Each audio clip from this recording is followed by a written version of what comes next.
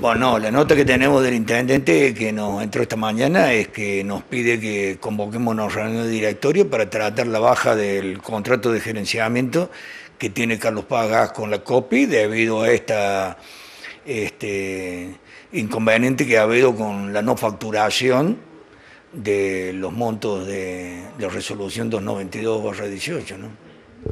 ¿Qué se debe gerenciamiento para la gente que, no conoce? ¿Cuál es el cargo que le merece el gerenciamiento? Bueno, el gerenciamiento es el manejo de toda la parte de la empresa por parte de la COPI con un contrato que viene de la época este, de Carlos Felpeto, en donde este, ellos hacen toda la, toda, todo, toda, todas las funciones, excepto algunas que hemos sacado con el tiempo.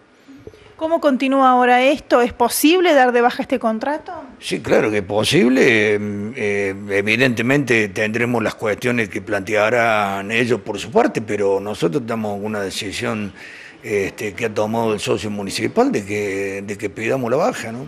¿Cuánto tiempo llevaría esta baja? Bueno, eso se va a determinar, se va a analizar, este, no es una cosa de manera inmediata, pero se, se, pone, pero se pone en marcha hoy sí, definitivamente, ¿no? Mientras tanto, ¿sigue vigente eh, el cobro de este aumento retroactivo en este mes? Por el momento sí, todavía, a pesar de las versiones periodísticas del sábado a la mañana, todavía de Elena Gas, nosotros no hemos recibido nada de manera oficial. Eso es lo que llama la atención porque generalmente llegan primero las informaciones oficiales, aunque sea por mail, y después llega el papel y las comunicaciones, los comunicados de prensa.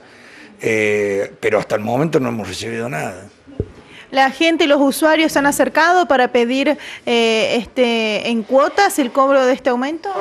Sí, esta mañana tuvimos un, usuario que pidió pagar en tres cuotas, este, y bueno, como dijimos este, y nos pidió el intendente, hemos dado seis cuotas, hasta seis cuotas sin interés, así que esta mañana lo hemos explicado, pero han sido un solo usuario, hasta ahora todos han pagado, eh, incluso te digo más, pagan las dos, las dos boletas, la que vence ahora y la que vence dentro de un mes. Respecto a la presentación de Azoga, ¿cómo van a continuar? Bueno, con ASOG hemos tenido tres reuniones y hemos, primero nos pidieron un mes de gracia y tres cuotas, accedimos. Eh, después vinieron con un planteo de 24 cuotas, lo cual dijimos que lo íbamos a analizar, pero finalmente eh, informamos que no podíamos acceder a, semejante financiamiento. Eh, y ahora han venido a hacer una presentación pidiendo que saquemos este, Em, por una X cantidad de, de usuarios, eh, separemos lo que es retroactivo de la factura para pagar la factura del mes y dejar este, en suspenso el, el retroactivo. ¿Y eso cuánto tiempo de respuesta tiene que llevar parte de ustedes?